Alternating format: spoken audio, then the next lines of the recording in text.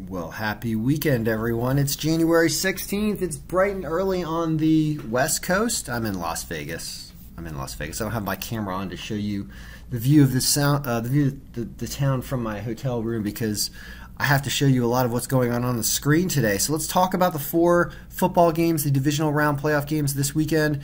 Late video. I'm sorry. I got into Vegas last night at like 10 p.m. and I was so tired. I just I just I'm an old man. I was just like I gotta go to sleep. So I'm up now and working on college basketball and football. But let's talk about the football game. So two games on Saturday, two games on Sunday. Baltimore, Rams, Buffalo, Green Bay today, and then we'll talk about the other games in a second. So let's talk about. Yeah, let's look at everything real quick. All right. So what do we have here?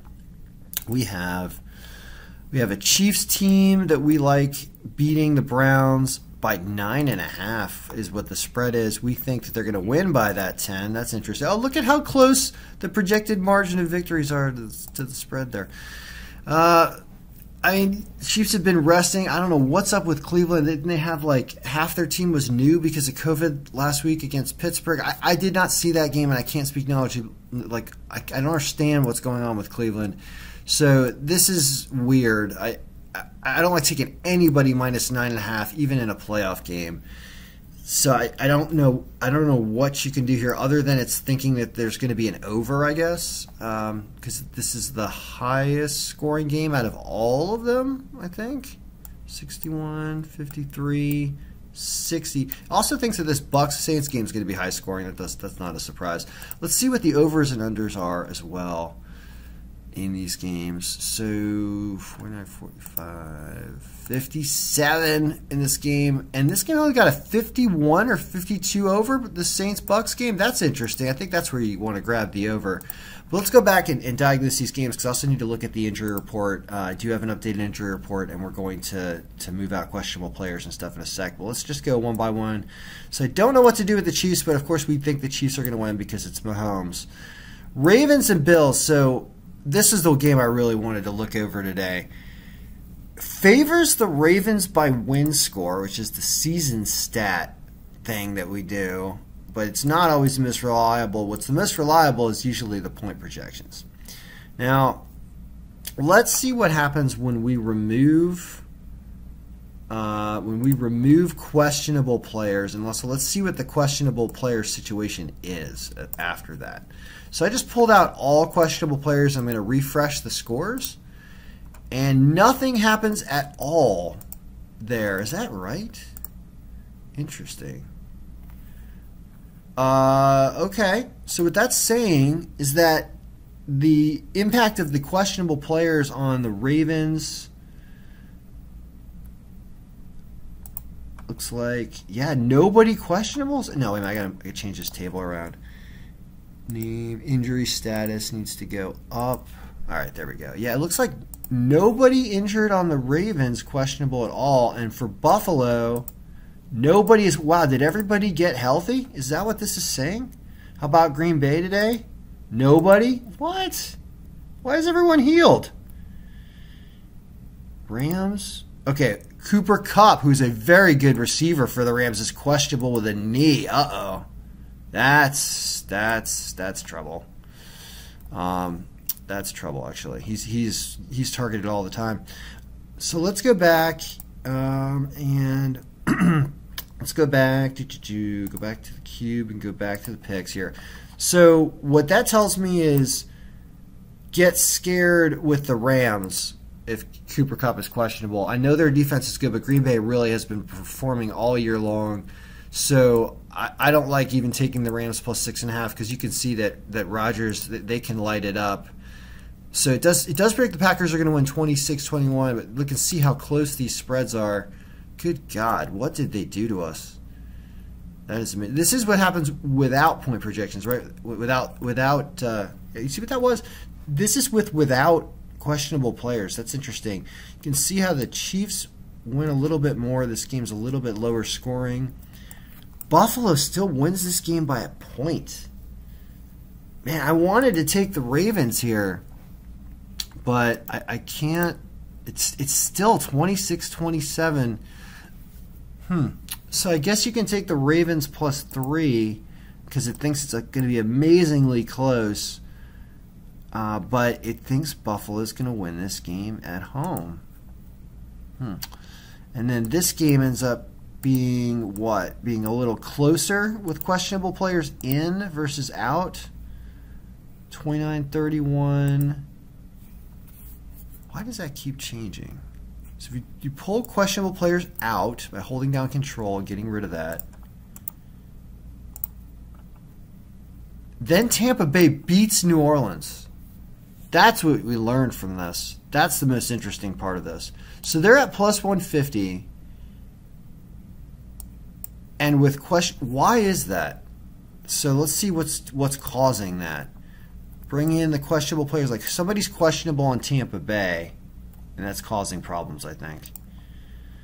Ronald Jones with a quad. So it looks like that might be the issue that's changing that game around slightly. Slightly. All right, guys. Um, I don't have all day. I got to do basketball also. Is there anything that we can, any actionable intelligence we can take from this? Well, um, I, I don't know. I don't know how you stay away from the Ravens plus three. I'm always wrong. Always wrong. Thinks Buffalo's really going to win. Yeah, it's my instinct to go and want to take the Ravens here, so that Ravens are probably going to lose. Like if I want to take them so bad, and that means that Buffalo is probably going to walk over and win this game. And the and the algorithm says Buffalo wins this game. Keep that in mind. Um, very very close, so that the three points that you get with Baltimore is reasonable, but that that's what's happening. In the other game today. So this is a one point game with Cooper Kupp playing at full speed. But without Cooper Kupp, this changes, right? Without questionables, this changes immensely. Take out, whoops. Take out questionables, go back.